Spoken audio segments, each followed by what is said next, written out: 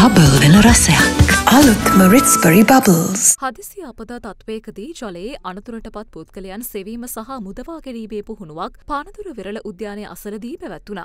එම පුහුණුව සංවිධාන කර තිබුණේ ගුවන් හමුදාව විසින්. ගුවන් හමුදා අංක හත ප්‍රවාහන හෙලිකොප්ට බලගනය සහ ගුවන් හමුදා රෙජිමේන්තු බලකායද එම පුහුණුව සඳහා එක්ව සිටියා.